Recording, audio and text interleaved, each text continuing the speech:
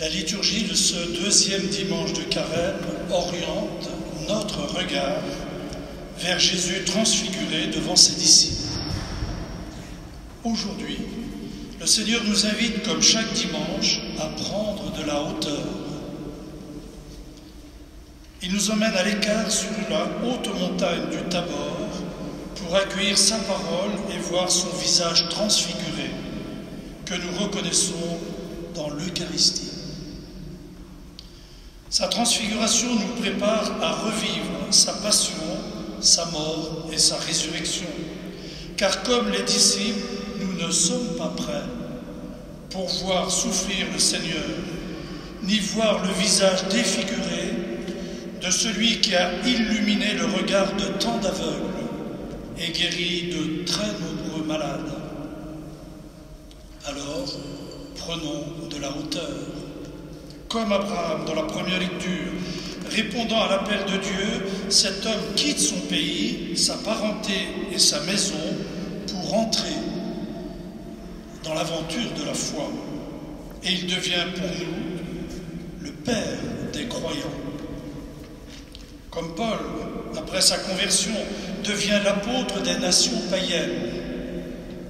Et dans sa lettre à Timothée, il nous redit le projet de Dieu déployer sur nous la bénédiction confiée à Abraham afin que chacun, chacun de nous prenne sa part à l'annonce de l'Évangile.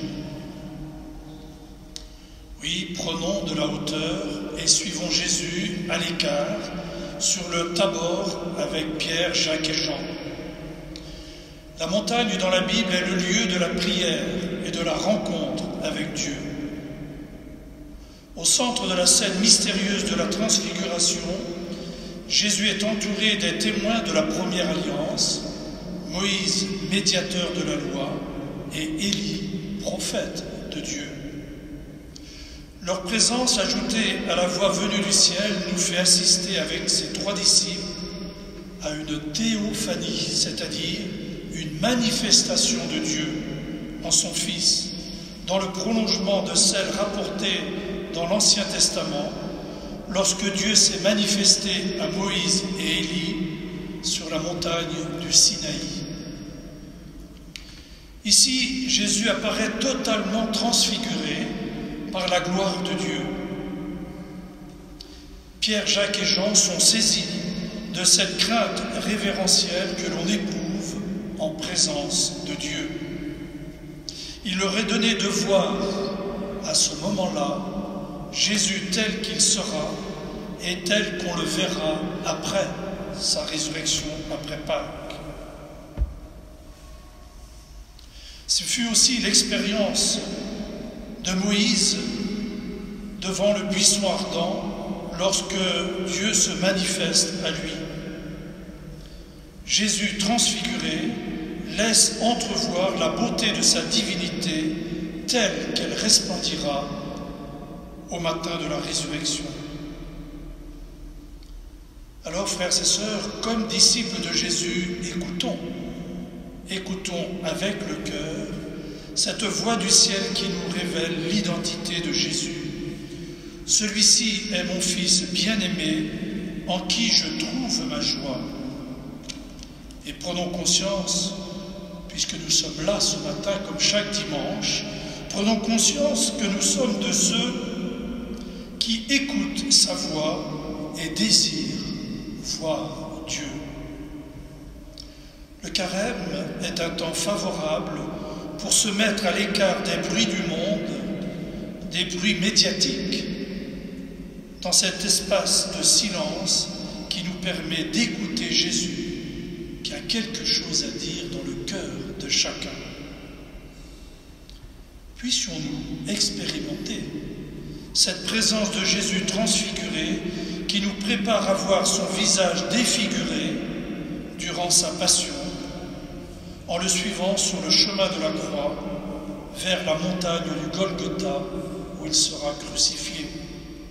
Ainsi, au matin de Pâques, nous pourrons contempler joyeusement la gloire du Christ ressuscité.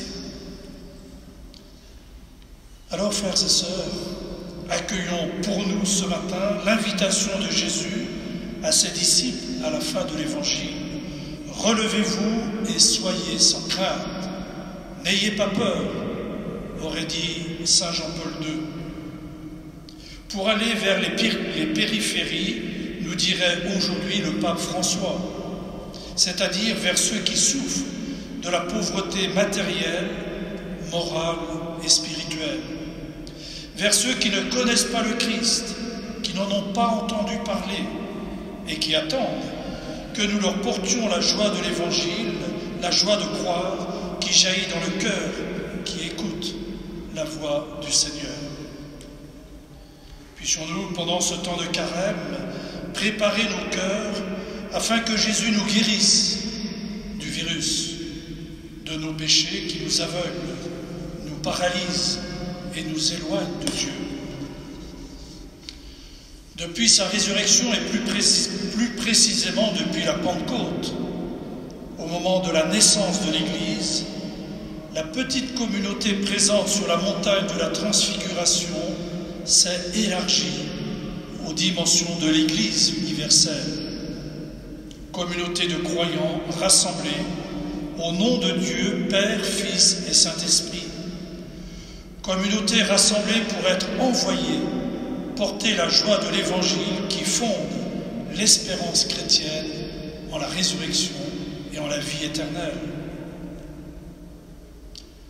N'oublions pas, pendant ce carême, de porter dans notre prière les appelés, c'est-à-dire les catéchumènes, qu'on désigne ainsi depuis dimanche dernier, lors de l'appel décisif de l'évêque qui les a appelés pour recevoir le baptême lors de la veillée pascale.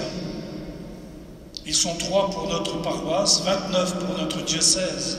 Pour notre paroisse, Frédéric, Leslie et Erwin.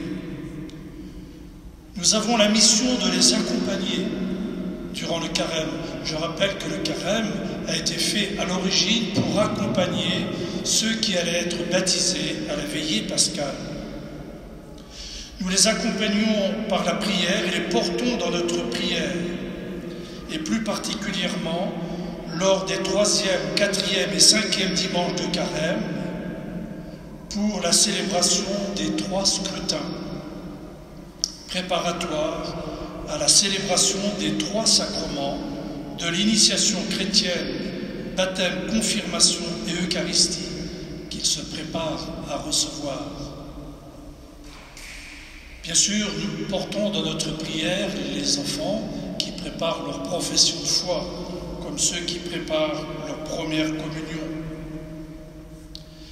Mais n'oublions pas que nous sommes appelés à vivre un carême contagieux.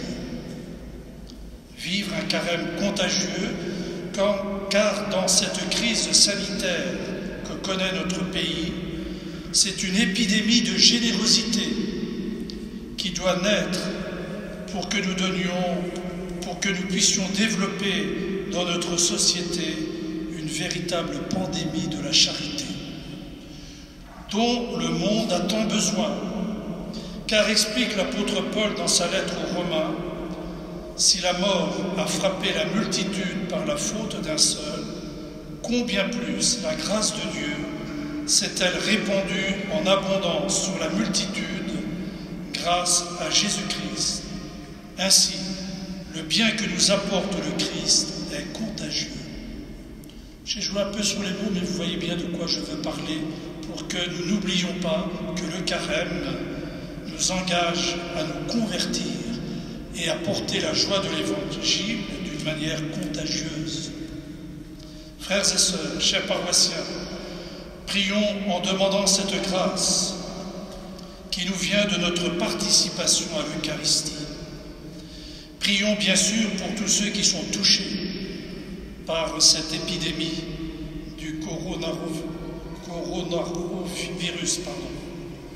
Et dans le silence de notre cœur, mettons-nous à l'écoute de cette voix du ciel qui nous montre Jésus. Celui-ci est mon Fils bien-aimé, en qui je trouve ma joie. Écoutez.